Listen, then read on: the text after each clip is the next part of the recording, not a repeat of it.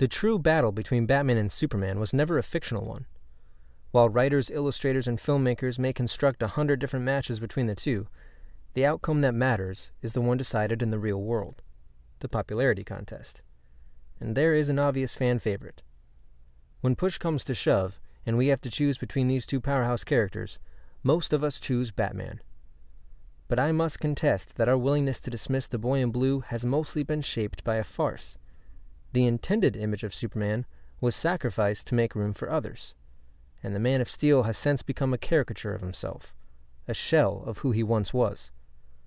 A glaring advantage in the fight for the heart of the culture developed many years ago, and we need not venture into the hypothetical world of fictional scenarios to discover how it was Batman that asserted his undisputed dominance with a cheap shot. At least that's how I see it. So let's turn back the clock to the very first full length issue of an iconic character, this heroic figure was described within the delicate pages of the comic as a hidden figure in the night, a dark shadow, avenging demon, and mental wonder. He solved a murder case, intimidated criminals with force, verbally threatened their lives, eavesdropped for information, went undercover, and quickly spread fear throughout the city's mafia. Now, while you may be thinking this particular vigilante sounds an awful lot like Batman, it isn't. His big debut wouldn't be published for another long year. The surprising truth is that these earliest adventures belong to none other than the Man of Steel himself. Jerry Siegel and Joe Shuster had created one bad Mamba Jamba for 1938. Max Fleischer's animated series from the 1940s also kept right in line with that same theme. He approached Superman's exciting adventures with a hint of the eerie mystery that comes from film noir. There was a certain mystique surrounding the city of Metropolis and their hero in acrobatic tights. At this point in time, the Man of Steel was known to the general public as a self made mythic figure in a gritty fight against evil and corruption found both in America and abroad. It was a very human struggle for a character that felt very far from alien. A lot has changed since then, though. Those swashbuckling days are behind him. Superman is now godlike, and as such, he can only be a symbol of righteousness and hope lest he become a villain. He does everything upright and respectfully. He is optimistic, if not even a bit naive. He is the big blue Boy Scout, and we should all be proud of it.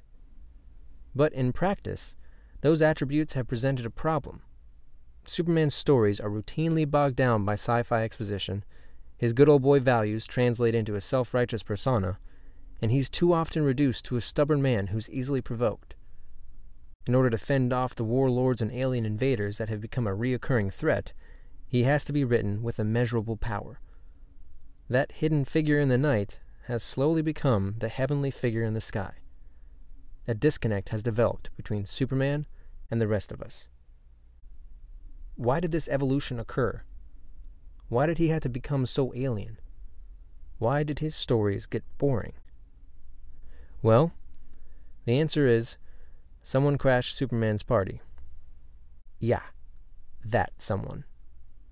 When Bruce Wayne came onto the scene in 1939, he was similar to other characters the culture was already familiar with, but he offered a bit more. He was the world's greatest detective, and this Caped Crusader was part of the new superhero era, with underwear on the outside and all. DC Comics was growing their lineup, and distinctions would need to be made between characters. Since Batman was the newer entry, it was Superman who would need to slowly be amended, and with that, his stories would have to depart from similarities found within the two heroes' journeys. Writers would soon capitalize on the built in distinction between them Superman's alien heritage. So, although his Kryptonian backstory had previously been treated as a mere launchpad and explanation for his earthly adventures, it would now be used as a centerpiece that distinguished the genres. While this wasn't an instantaneous shift, it was certainly steady and unyielding. Once it took hold, the science fiction dial would be turned all the way up to 11. Unfortunately, while many comic book readers are acutely aware of the nuances found within the stories of the modern day Superman and his 50 years of mythology, his overall image is less engrossing in the public eye. It is undeniably apparent that his stories are not easily translated to mass audiences anymore, and as a result, writers continually resort to making him burdened by dreary introspection or turning him into a sacrificial lamb. That's the inherent dilemma when a character becomes a god their accessibility greatly diminishes, and their stories stop feeling fun. And that is the Man of Steel's greatest weakness, not kryptonite. He is most vulnerable to the hands of writers who favor another hero over him. From the start, they allowed the developing character of the Dark Knight to incrementally rob Superman of some of his most compelling attributes.